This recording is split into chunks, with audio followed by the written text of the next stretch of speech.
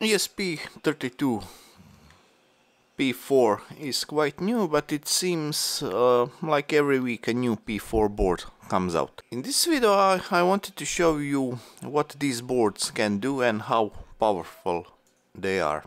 In this example P4 board is being used as a second display for my PC. Right now it is mirroring the primary monitor but I can also use it as extended monitor just like a projector. It is connected to PC using USB.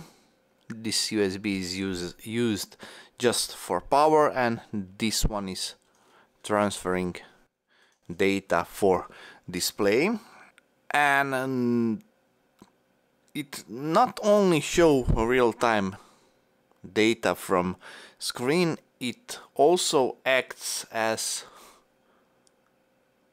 input device. And now my old PC has touchscreen I can even draw in paint. And that that is not all. Sound is also coming from this board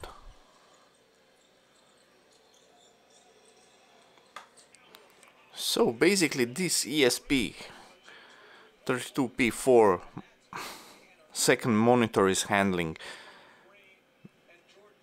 display, handling inputs and reproducing sounds.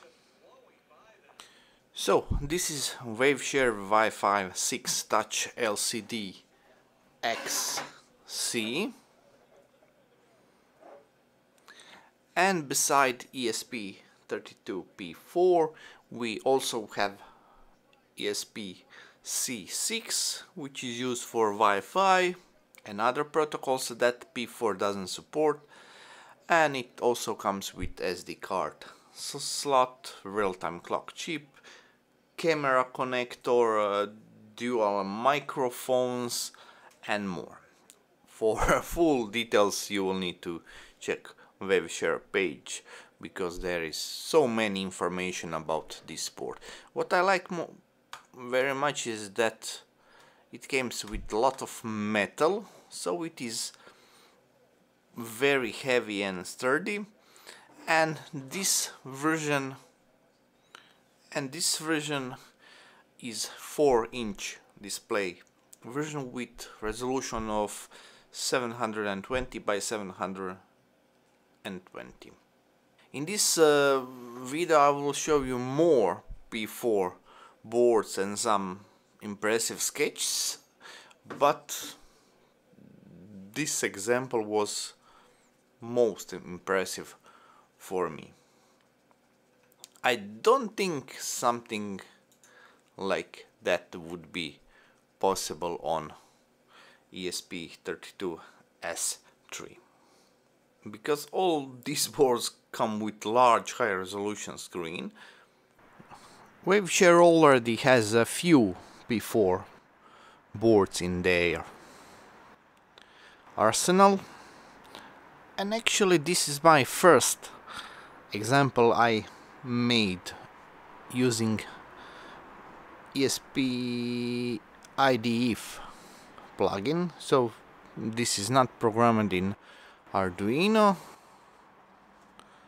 and it works very great. This is elegant P486 panel because it's go in that electrician 86 box and it can be it can look very nice on your wall to control lights or something because there are two relays and ethernet port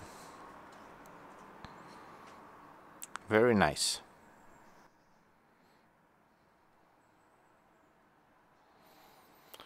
and check out this huge 10 inch board. I'm still working on playing with it. It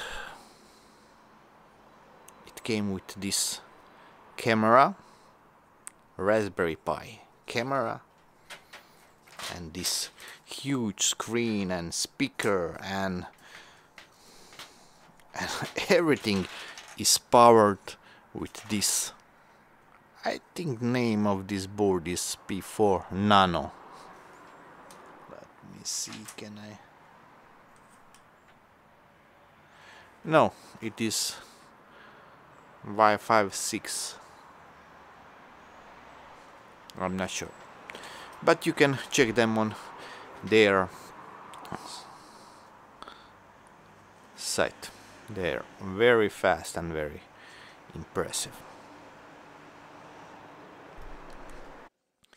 I also wanted to talk a bit about uploading those sketches for more complex projects you will need to use ESP IDF actually Visual Studio Code and ESP IDF extension. I've noticed that most of, of advanced examples are made for IDF, while Arduino examples are often simpler and more basic. And I also noticed that the same example behaves differently when programmed in Arduino IDE compared to when it's done in Visual Studio Code with ESP IDF plugin. I'm not completely sure here we have also Squareline Studio. I'm not sure, but I think the for complex projects Visual Studio Code with ESP IDF is really the only way to go. For simple stuff, I'll keep using the Arduino IDE, since it is still my favorite. But I decided that I need to start, I need to learn IDF. It feels more professional, but it is definitely more complicated also.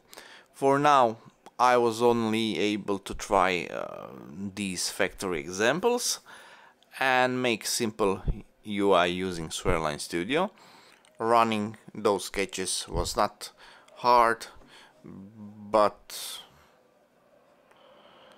it will be interesting journey. So what about you? Are you ready to jump into P4 world or you will stick with older ESP32 versions? Personally, I will definitely be using both.